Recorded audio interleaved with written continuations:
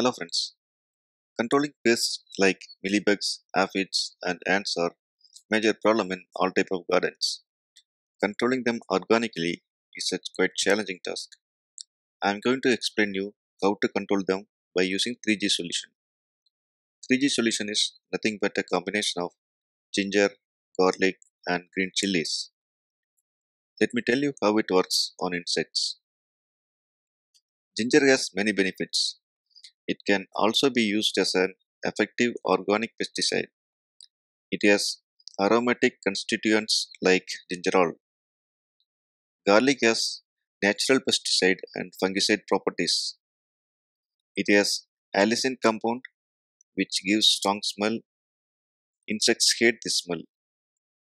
Chili contains capsaicin compound which makes them spicy.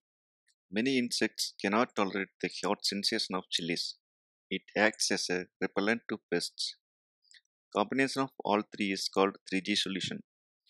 Please be careful when you are using it as it has strong smell and spicy and it should be used only early in the morning or late in the evening. Let us see how to prepare 3G solution. Take approximately 15 to 20 grams of ginger, garlic and green chilies. Grind them in mixie and soak the paste into 1 liter of water and leave it for around 12 hours. Filter the solution and spray it on the plants thoroughly.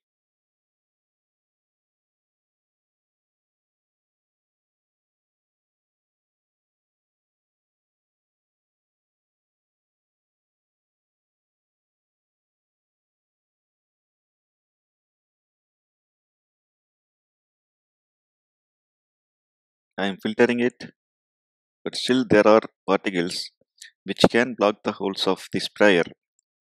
So I am filtering it again.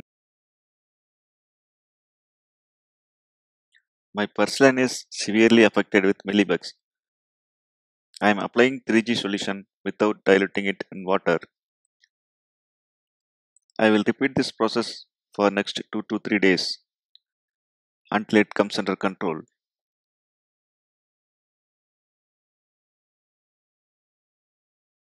Ants are the main protector and carrier of mealybugs.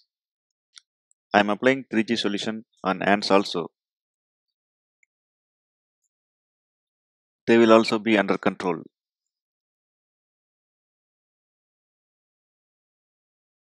You can directly spray the solution on the plants or dilute it in water and spray.